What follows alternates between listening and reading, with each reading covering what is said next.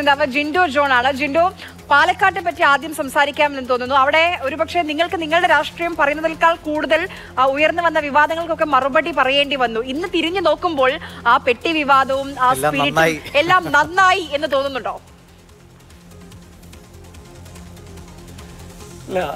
ഇതിൽ ഞങ്ങൾ രാഷ്ട്രീയ വിഷയങ്ങൾ തന്നെയാണ് ആദ്യം മുതൽ അഡ്രസ്സ് ചെയ്തുകൊണ്ടിരുന്നത്. പക്ഷേ മാധ്യമങ്ങൾക്ക് മുമ്പിൽ കൃത്യമായിട്ട് സി പി എമ്മിന്റെ നേതൃത്വത്തിൽ സി പി എമ്മിന്റെ ഉന്നത നേതാക്കന്മാരുടെ നേതൃത്വത്തിൽ ഇത്തരത്തിലുള്ള വിവാദങ്ങൾ സൃഷ്ടിച്ചുകൊണ്ട് എട്ടേകാൽ വർഷം എട്ടര വർഷമായിട്ട് കേരളം ഭരിക്കുന്ന സംസ്ഥാന സർക്കാരിനെതിരായിട്ടുള്ള ജന വിരുദ്ധമായിട്ടുള്ള പ്രവർത്തനങ്ങൾക്കെതിരായിട്ടുള്ള ജനഹിതം പുറത്തറിയാതിരിക്കാൻ വേണ്ടിയുള്ള ശ്രമമാണ് നടത്തിയത്. അപ്പോൾ രാഹുൽ മാങ്കൂട്ടത്തിന്റെ നീലപ്പെട്ടി മുതൽ ഞങ്ങൾക്ക് ഗുണകരമായിട്ടുള്ള ഒരുപാട് കാര്യങ്ങളുണ്ട്. അതിനപ്പുറത്ത് ജനങ്ങളല്ലേ വോട്ട് ചെയ്തത്? സത്യമായിട്ടും. അത് നമ്മൾ അങ്ങനെ തന്നെ കാണുമല്ലോ. ഈ കേരളത്തിലെ ഏതെങ്കിലും ഒരു സാധാരണ സഖാവ് സി പി എമ്മുകാരൻ പോലും വിശ്വസിക്കുന്നുണ്ടാവുമോ? രാഹുൽ മാങ്കൂട്ടത്തിന്റെ പെട്ടിക്കകത്ത് പണം ഉണ്ടായെന്ന് ആരും വിശ്വസിക്കുന്നുണ്ടാവില്ല. എല്ലാവരും മിനിമം കോമൺ സെൻസ് ഉള്ള മനുഷ്യരല്ലേ നമ്മുടെ സംസ്ഥാനത്തുള്ളത്.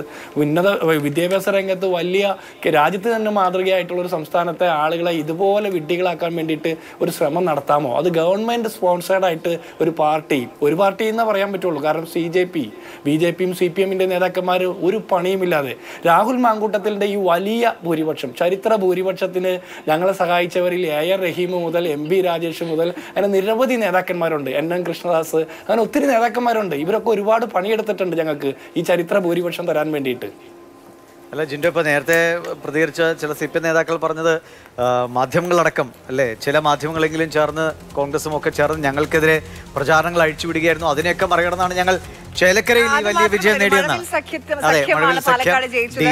വർഗീയ ശക്തികൾ അതോടൊപ്പം എസ് ഡി പി ഐ ജമാഅത്തെ. ഇതൊക്കെയാണ് ഇപ്പോൾ പാർട്ടി സെക്രട്ടറി മുതൽ താഴെ ആദ്യം എസ് ഡി പി ഐക്കാരാണ് രാഹുലിന്റെ വിജയം ആഘോഷിച്ച് പ്രജ ഘോഷയാത്ര നടത്തിയത് എന്നൊരു ആരോപണം കൂടിയുണ്ട്.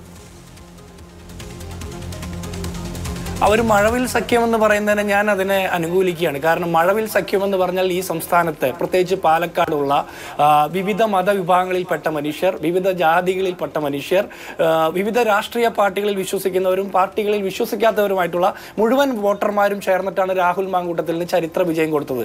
അങ്ങനെയാണ് ഉദ്ദേശിക്കുന്നതെങ്കിൽ മഴവിൽ സഖ്യം തന്നെയാണ്.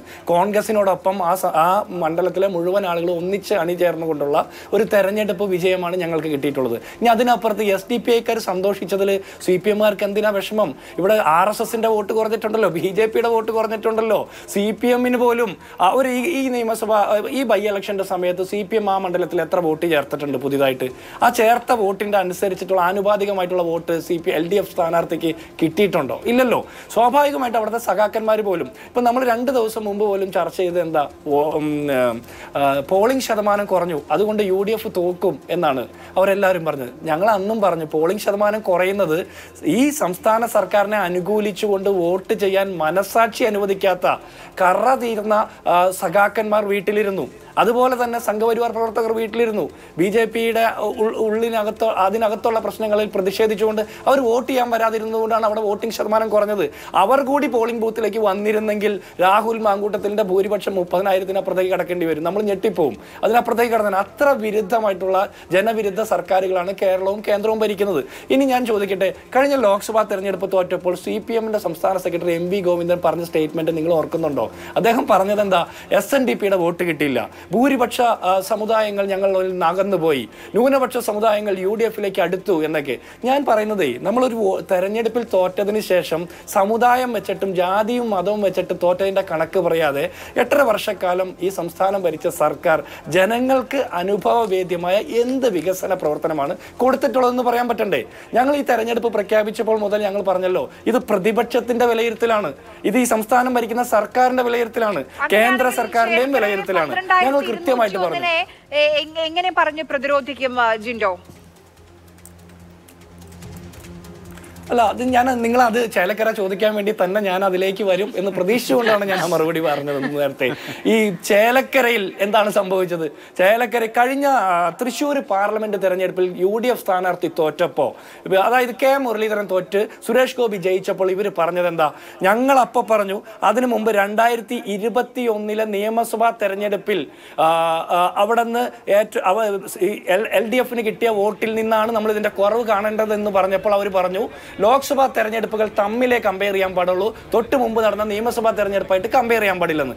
ഇവിടെയും ഞങ്ങൾ അന്ന് സി പി എമ്മുകാരും ബി ജെ പിക്കാരും കേരളത്തിലെ മാധ്യമ പ്രവർത്തകരും ഞങ്ങളുടെ മുമ്പിൽ വെച്ച സ്കെയിൽ വെച്ച് ഞാൻ അതിനടക്കാൻ അളക്കാൻ പോവാ. അങ്ങനെയാണെങ്കിൽ രണ്ടായിരത്തി ഇരുപത്തി ഒന്നിലെ നിയമസഭാ തെരഞ്ഞെടുപ്പിൽ മുപ്പത്തൊമ്പതിനായിരത്തിലധികം മുപ്പത്തൊമ്പതിനായിരത്തി നാനൂറ് അതായത് നാൽപ്പതിനായിരത്തോളം അടുത്ത് വോട്ടിന് കെ രാധാകൃഷ്ണൻ ജയിച്ച മണ്ഡലത്തിൽ പന്ത്രണ്ടായിരത്തി ചില്ലാൻ വോട്ടിന് മാത്രമാണ് യു ആർ പ്രദീപ് ജയിക്കുന്നതെങ്കിൽ യു ആർ പ്രദീപ് ഒരു മോശപ്പെട്ട മനുഷ്യനാണെന്ന് ആരും പറയുന്നില്ലല്ലോ.